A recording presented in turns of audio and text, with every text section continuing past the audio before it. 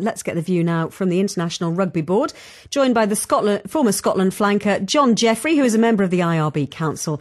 And pertinently for us tonight, he's a member of the IRB's Scrum Steering Group. Good evening to you, John.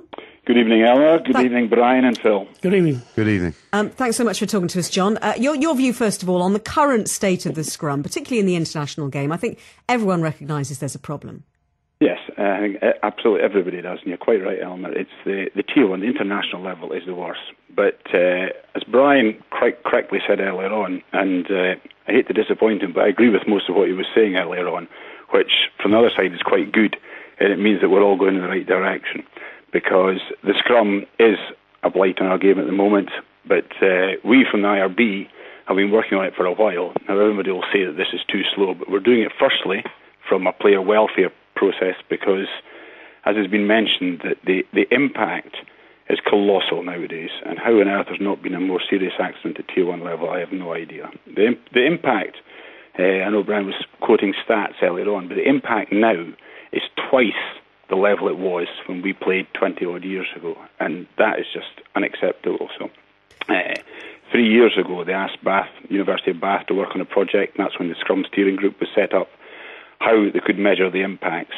And we're getting to the end of that trial now. Hopefully, the end of that will come in two weeks' time when they've been uh, measuring the forces of the impact, and we will then go, hopefully, depending how the results from the Pacific Rugby Championship, which we'll talk about in a minute, with the new engagement process, uh, we'll move forward to a global trial that will hopefully sort it out. But I couldn't agree more that it has to be sorted.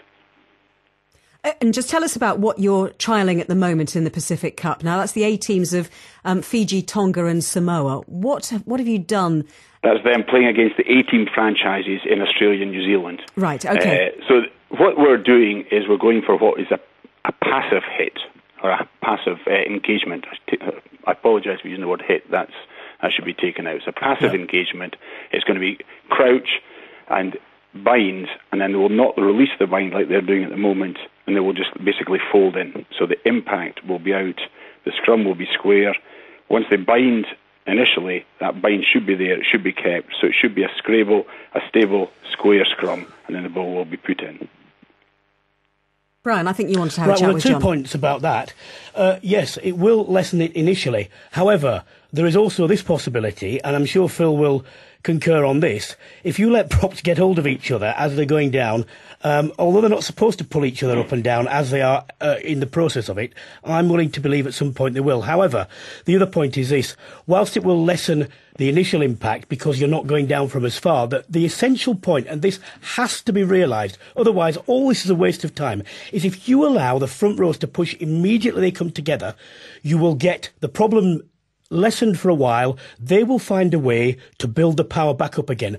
The most essential part is the rule that is actually still on the book. And if they don't understand that, they won't get it right. These things will work partially.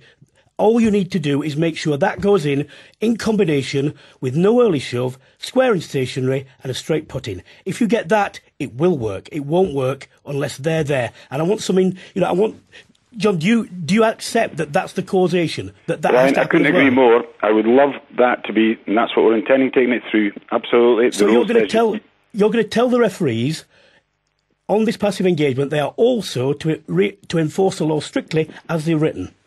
That is the intention of what we're doing, Brian. What's going to happen is the Scrum steering group can, will put can a I ask a question, John? Yes, sorry, Phil. Yep. What, what, why, why are they not refereeing the laws now in the game? Well, I've spoken to uh, most of the tier one coaches in the last six months, and believe it or not, none of them want a straight put in, which amazed me because I. Since when, when did on, they make the laws? Yeah, but I came on that I'd be. I was determined. I'm like yourself. I want a straight put in. I want a stable scrum.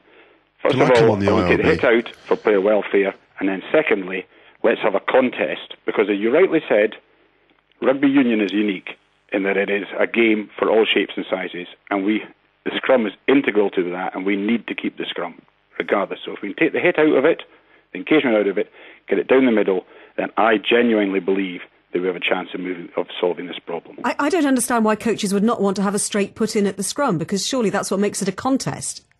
Yeah, because the coaches uh, say they want they want uh, they, They want, want to to win the guarantee the, feed. Mm. You know, which, which is bizarre. The thing is, though, John, is, is as you well know, players and coaches are infinitely adaptable. And if you make it, the reason they're saying that is because they've, they've been allowed to do it. And of course, they don't want to change the habits that they've got into because that's where they all go down. However, if they are simply told that is the way it is, they will change and they will change quickly. Yeah. What, what we're looking at doing, Brian, is uh, once the Scrum Steering Group, if they recommend this trial, and I'm not saying they are going to recommend this trial. Remember, this trial is done uh, at the level that Ellie was talking about, the A groups. It's not been done at Tier 1, so we've only got results from that at the moment. We'd be taken forward. We, before it goes to a global trial, it would then go back to every stakeholder, all the stakeholder bodies, to referees, to players, to coaches, to the media as well, so they get buy-in on this concept. But John, what I don't understand is this: is the laws are written, they are there.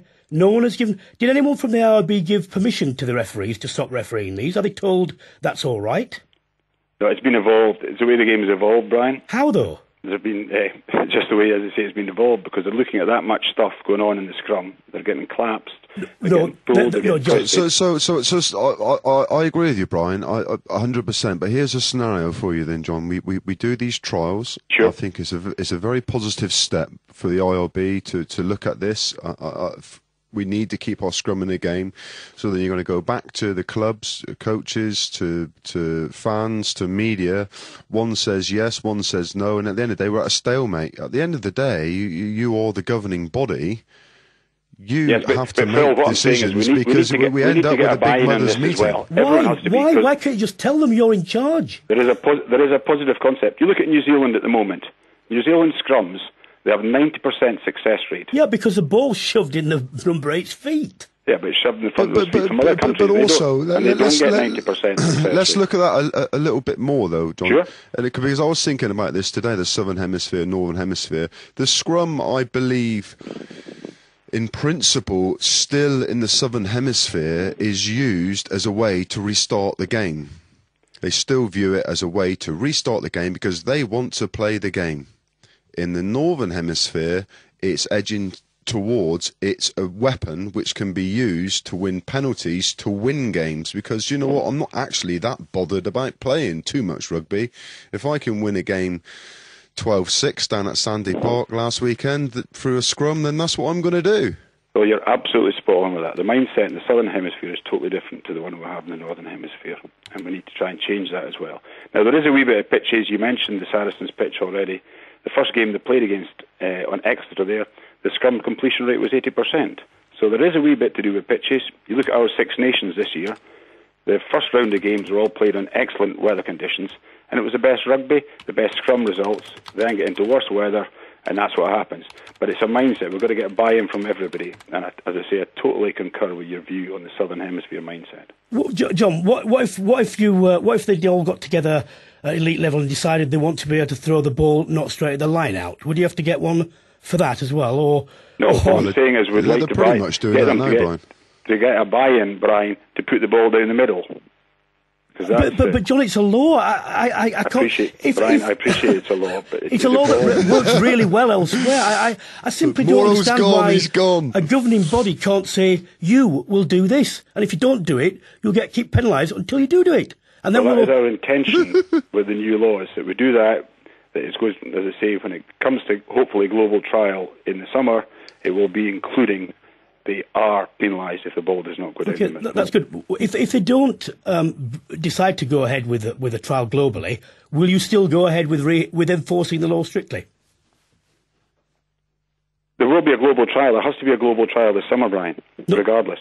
Because if we don't have a global trial, we then cannot put it in law because it has to be in Okay, law. but even Some if you- laws have even to if be you made a year in advance of the World Cup. Understand that. Even if you didn't go through with the new engagement sequence, why does that have to be linked, or does that have to be linked to enforcing the laws as they are now and, and, and still should be? It's to be linked in at the same time. Why? Because it makes sense to blink it all in at the same time because it's Well, not no, happening at the they're moment. still there. I, I don't It's not understand. being. It's not happening at the moment. Well, in the same in the same way, Brian, is that you're not allowed to shove before the ball comes in. Well, that's not being refereed at the moment. Well, do something. Well, tell before to tell him to referee it then. Say So you will. that. say you will referee this. You're in charge of the. You're, you chair the the appointments committee of the referees. You're You're, you're not. You're not going to get picked if you don't do this.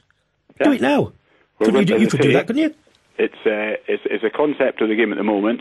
But it's not been, it's not happening. Mm. Well, but but John, I mean, uh, uh, we all we all, I mean, clearly, all three of you are on exactly the same hymn sheet when it comes to being passionate about the game and worried about the the way it's perceived at the moment, particularly after the Six Nations sure. that we've just had. But I mean, one of one of the texts, one of the tweets we've just had um, says um, from BR Stout, "Why are the IRB waiting for the measurements of the forces in scrums when John Jeffries has just said they're too height, too high, and dangerous?" As Brian says, you know, why why can I, I, if everyone is if everyone basically agrees, why can things not happen now? I tell you, well, Ellie, first of all, for a trial, you've got to let a trial finish, or legally, if we went ahead and made a change until you get the results of these trials, then legally, if somebody got injured, there'd be big problems. You've got to see a trial finish and get the results of it. So that's why we can't do it ad hoc. The way it works is it then goes to global trial. It would start uh, 1st of September in the Northern Hemisphere, 1st of January in the Southern Hemisphere, and hopefully, if it was successful, it would then become law the following year because laws have to be changed at least a year out from a World Cup. So it would be but, but you've just but you've just said there though, John, uh, and I, I, I, and I'm I, and I know I'm stirring things a little bit because because Brian, I can feel him having a meltdown next to me here. he, we, we talk about the trial and it has we have to do this, whether that's welfare, or the legal side of it, and before it goes into law. Well, the law actually doesn't mean anything anymore, does it? Because we are not following the law today as it stands anyway. So how is that going to change? Because uh, they're going to be told to change it in the summer. That's what's going to happen. So why can't you tell a referee this weekend, uh, Worcester Warriors, when we're scrumming mm. and they're pushing before the ball and the hooker doesn't hook? Why why can't you ring up whoever's refereeing and say you've got to referee the laws of the game, or else that's it? Just a final, final thought on that, on that, John. I mean, I, I think I think that you know the, the frustration that, that you can feel is that everyone wants it sorted now, and we can understand that, that, these things you know don't don't just happen overnight because we're talking about a global game here. But but what is your hope? I mean, what would you like to see at the World Cup when it comes around? You know, when it comes to scrums. On scrums, I would like to see a ninety percent success rate on scrums. Quite simple, and they stay up, and the ball time is not wasted at scrums. You have a contest, both hookers are allowed to hook, try and hook for the ball. Uh, it stays up, and the ball goes out, and it gets out along the back line. Listen, John, thank you so much for coming on and allowing the guys to have a have a go at you because Not a um, problem, thank you, John. it's it's a, a, really good debate. Um, John Bye. Jeffrey, who is a member of the IRB Council and uh, he's a member of the IRB uh, IRB's Scrum Steering Group, who I'm sure has had food for thought this evening.